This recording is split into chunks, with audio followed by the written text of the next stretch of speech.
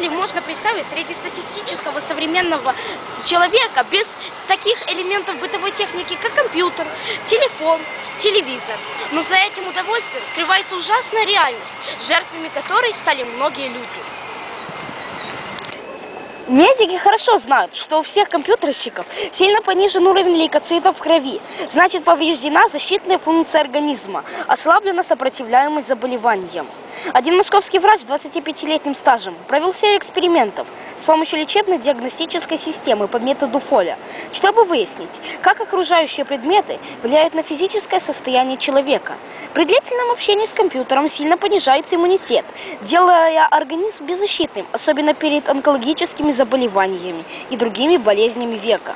Детские психиатры и психологи полагают, что основными болезнями детей в 21 веке будут болезни от телевидения и компьютеров. Немецкий невролог, профессор кафедры неврологии университета города Ульм Манфред Спицер в опубликованной книге, которая называется «Берегитесь телевизионных экранов», пишет о разрушающем воздействии телевидения на ментальные способности людей. У детей, которые постоянно смотрят телевизор, очень ограниченный кругозор, говорит он. У них нет никакого стимула к развитию, отсутствует такое необходимое в реальной жизни качество, как гибкость ума. Когда дети становятся взрослыми, у них атрофируются все чувства, они совсем иначе ощущают вкус и запах. Такие люди покупают нездоровые продукты из того разряда, которые постоянно рекламируются по телевидению.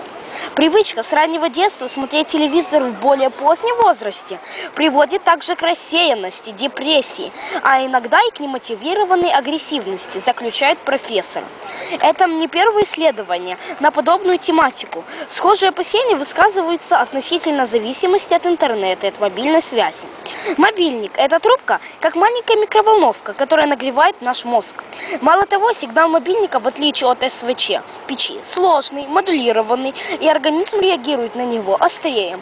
Процессы в головном мозге происходят на электрохимическом уровне. Это очень сложный, тонко организованный орган. Во время разговоров по мобиле мы мы бьем по его тонким проводкам электромагнитной дубиной. Особенно сильно получает кора мозга. Этот орган воспринимает электромагнитное излучение как глаз – цвет, а ухо звук. По воздействию на нас мобильный телефон нельзя сравнить ни с компьютером, ни с телевизором. Важна не мощность аппарата, а то, что он приложен к уху. Источник электромагнитного поля находится очень близко к мозгу и тормозит работу его участков. Один из таких – гипофиз. Нужно не разговаривать по мобильнику дольше трех минут. Он вызовет эпилепсию и онкологические заболевания. Роман Сорокин, Михаил Комодовский, телекомпания ЛТВ.